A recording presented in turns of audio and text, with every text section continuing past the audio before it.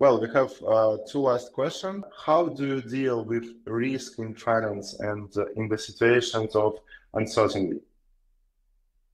Yeah, actually, for uh, only for this business side, because I am not an investor, so I want to talk about this business one. So first of all, there are no traders among our board members. So Jasmy and Janction board members. So we can concentrate on development regardless of market price movement. And innovation is our motivations. So it's also like our confidence. So as for Jasmy coins, we are working with several trusted market makers based on the perspective of business collaboration and community expansion.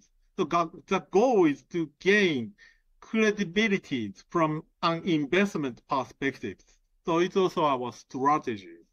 So from the business perspective, we always show our vision and keep communicating it so that the project's credibility is not shaken. It's simple, but I think we have been able to build the community we have today because we have continued to do so.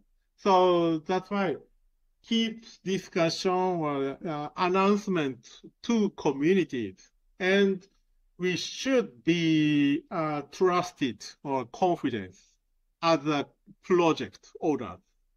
Yeah, it's also like a, we are uh, focus on this.